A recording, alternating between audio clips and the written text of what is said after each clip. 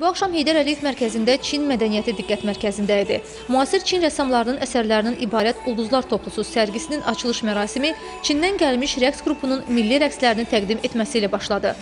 Mərasimdə Heydər Əliyevin vitse-prezidenti Leyla Əliyeva və Arzu Əliyeva iştirak etdilər.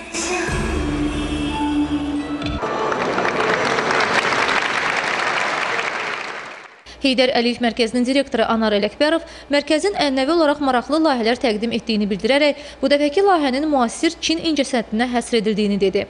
Bu layihənin ərsəyə gəlməsində əmək olan hər kəsə, xüsusilə Çinin Azərbaycandakı səfiri Wei Jinhuaya və səfirliyin əməkdaşlarına təşəkkür edən Anar Ələkbərov sərgidə 20 rəssamın və heykəltaraşın 40-dək əsərinin təqdim edildiyini qeyd etdi.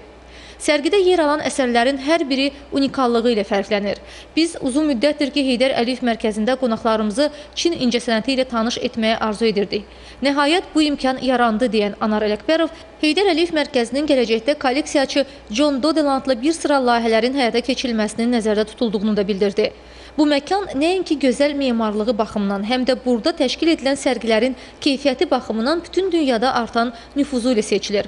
Bu sözləri isə sərginin açılış mərasiminə gələn kolleksiyaçı John Dodeland dedi. Artıq bir neçə ildir ki, yeni nəsil Çin rəssamlarına dəstək verdiyini qeyd edən kolleksiyaçı sərgidə təqdim edilən rəssamların öz zamanının ən istedadlı rəssamları olduğunu söylədi.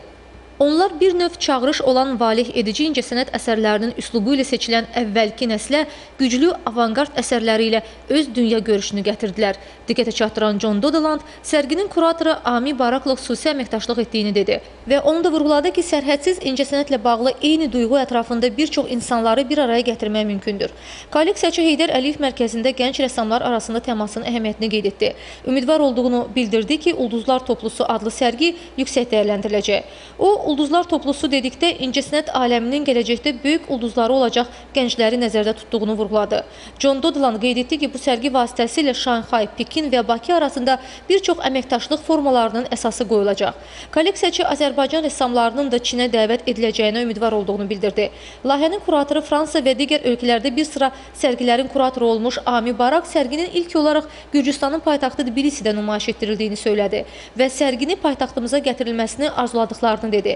Bu səyyar sərgidir və biz bu istiqamətdə addımlarımızı davam etdirəcəyik. Əslində bu sərgi bizim böyük bir layihəmizin bir hissəsidir deyən Ami Barak, sərgi çərçivəsində olduqca istedadlı, zəngin biliyi olan bacarıqlı rəssamların əsərlərinin təqdim edildiyini diqqətə çatdırdı.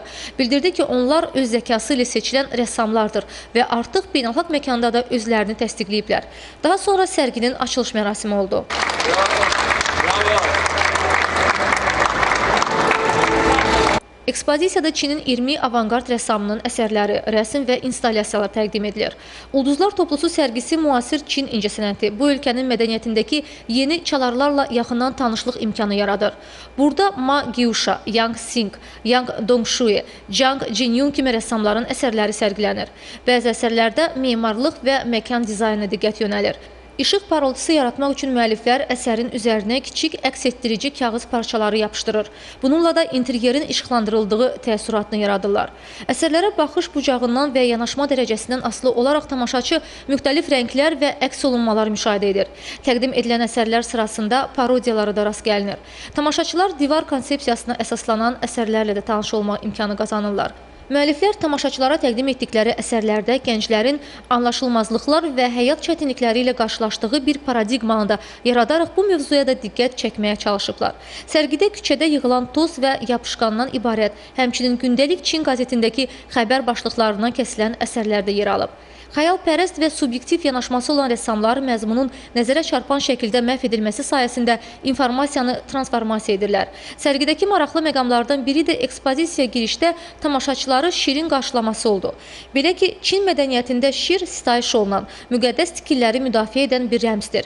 Bu şiri Çin ərazisindəki bütün məbədlərə girişdə görmək mümkündür. Bugün isə Çin mədəniyyətinin simvollarından olan həmin şir Çin mədəniyyətinin təqdim olunduğu Heydər Əliyev mərkəzində açılan sərgiyə gələn gələnləri qarşıladı. Uluzlar toplusu ekspozisiyası 2018-ci il fevralın 1-nədək açıq olacaq. Mehriban Əfəndiyeva, Faiq Məstanov, Elnur Məmmədov xəbərlər.